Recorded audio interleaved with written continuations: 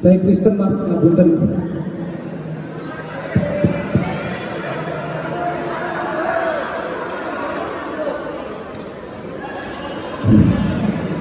Zaman sekarang jadi pemuda serba susah. Zaman sekarang banyak pemuda yang jauh dari arti kata apa itu sumpah pemuda. Zaman sekarang juga banyak pemuda yang melakukan aksi-aksi Pak, PAP dan janji palsu.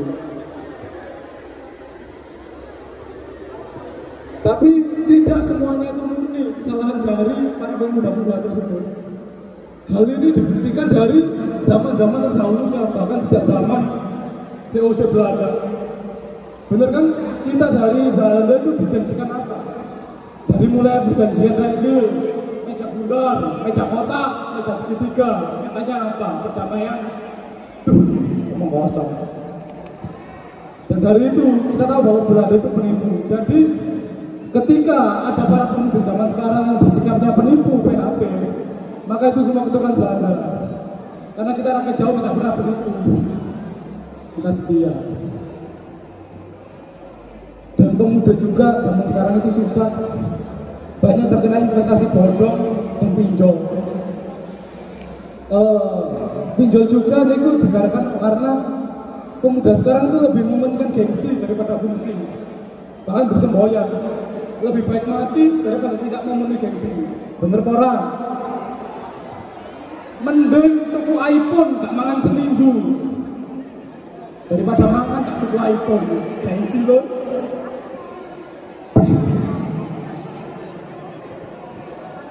Tapi tidak bisa disalahkan juga.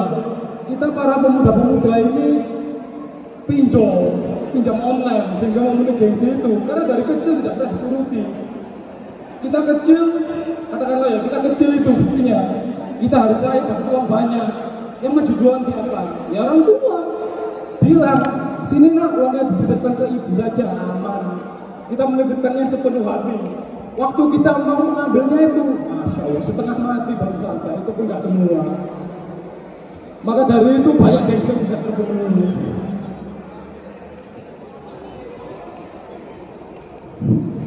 Para pemuda sekarang juga niku saya bilang lemah. Kenapa?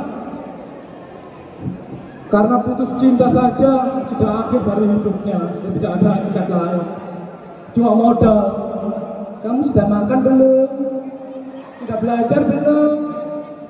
Kamu ngantar? Sini aku temenin. Waktu ditinggal, ambil posisi, kita lagu, kukira kamu harapan terindahku. Ternyata kamu lupa sedalam itu.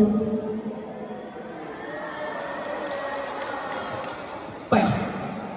Zaman dulu, pemuda sama pemuda, harap perjanjian-perjanjian, harap sumpah-sumpah itu.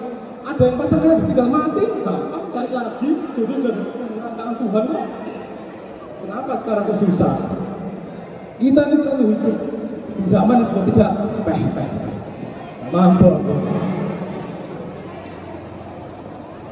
Bahkan kutipan-kutipan Bung Karno saja para proklamator kemerdekaan diubah dengan hal-hal tidak masuk akal. Bung Karno berkata, berikan aku satu pemuda akan kuguncang dunia, berikan aku sepuluh pemuda akan kurubah dunia. Kalau sekarang enggak, beri aku para pemuda berkata, beri aku satu pemudi, maka aku akan memberikanmu sepuluh pemuda. Karena sumpah saya masih muda.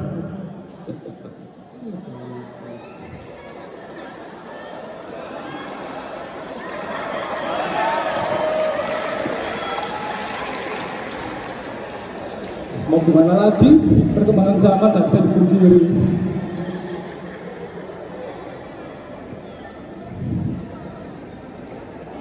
Bro bro wis entek ta dulu wis entek ta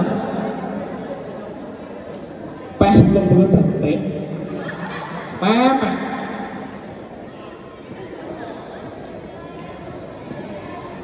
Kodok ngorek nyolong ngorek.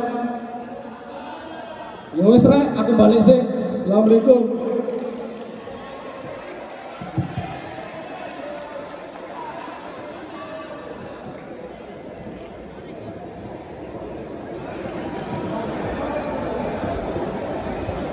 Terima kasih atas penampilan dari perwakilan 11 IPS 2.